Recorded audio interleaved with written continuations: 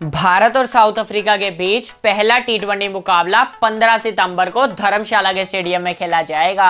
और दोस्तों, आज इस वीडियो में हम इस पहले टी मुकाबले की आपको बिल्कुल नई टाइमिंग्स के बारे में बताने वाले हैं और साथ ही साथ बताने वाले हैं वेदर रिपोर्ट के बारे में और साथ ही साथ कुछ उन बड़ी बड़ी खबरों के बारे में जो इस मुकाबले से पहले निकल कर आ रही है। तो दोस्तों, अगर आप भी पहले टी मुकाबले की ए टू जेड सारी जानकारी जानना चाहते हैं तो इस वीडियो को अंत तक ज़रूर देखते रहिएगा। और अगर आप भी चाहते हो कि भारतीय टीम पहले मुकाबले में एक बड़ी ही ज़बरदस्त जीत हासिल करे तो इस वीडियो को दिल से एक लाइक अभी कर दीजिए।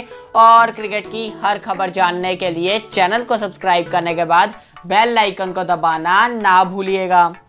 तो दोस्तों, अगर इस मुकाबले की सबसे पहले वेदर रिपोर्ट के बारे में बात की जाए तो दोस्तों, जो वेदर रिपोर्ट है, पहले टी ट्वेंटी मुकाबले के लिए अगर देखा जाए तो कुछ ज़्यादा अच्छी नहीं निकल कर आ रही है। दोस्तों, आप जानते हैं कि यह मुकाबला धर्मशाला में खेला जाएगा और दोस्तों, धर्मशाला में, जो कि हिमाचल प्रदेश में है, वहाँ का वेदर हमेशा से ही थोड़ा ओवरकास्ट रहता है। इस मुकाबले में भी ओवरकास्ट कंडीशंस की ही उम्मीद करेंगे, परंतु इस वक्त कोई शोवर्स की, यानी कि कोई हल्की फुल्की बरसात की, इस वक्त उम्मीद नहीं लग रही है। परंतु दोस्तों, हम कह सकते हैं कि तब भी हल्की फुल्की बूंदाबांदी की उम्मीदें हम इस मुकाबले से कर सकते हैं। तो दोस्तों, पूरी तरह से बारिश का डर इस मुकाबले से अभी भी नहीं टला है। तो दोस्तों, अब अगर इस मुकाबले की टाइमिंग्स के बारे में बात की जाए तो दोस्तों, आप जानते हैं कि जो वेस्ट इंडीज़ में जो मैचेस हो रहे थे, उनकी टाइमिंग्स बड़ी अजीब हो रही थी।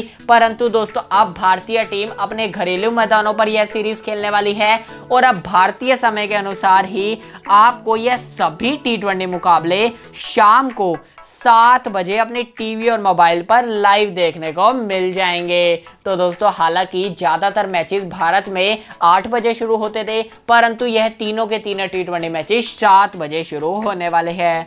तो दोस्तों, अब कुछ बड़ी बड़ी खबरों के बारे में बात करें। तो दोस्तों, जो सबसे पहली खबर निकल कर आ रही है तो दोस्तों, वो आ रही है के राहुल को लेकर। दोस्तों, भारतीय टीम के लिए जो ओपनिंग करते हैं दो सलामी ओपनर्स, वो रोहित शर्मा और शिखर धवन है। हालाँकि दोस्तों, शिखर धवन का फॉर्म पिछले कुछ काफ़ी टाइमों से पूरे वेस्ट इंडीज़ दौरे की ही बात करें तो कुछ ज़्यादा अच्छी नहीं चल रही है। अब तो टेस्ट स्क्वाड में से भी ये के राहुल को ड्रॉप कर दिया है और इस वक्त ऐसी खबरें निकल कर आ रही है कि पहले टी मुकाबले में के राहुल को मौका नहीं मिलने वाला है।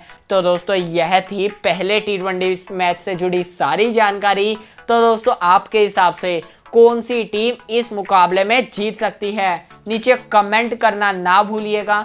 अगर वीडियो पसंद आए, इस वीडियो को लाइक कीजिए ज़्यादा ज़्यादा अपने सर शेयर कीजिए। और क्रिकेट की हर खबर जानने के लिए चैनल को सब्सक्राइब करने के बाद बेल आइकन को दबाना ना भूलिएगा।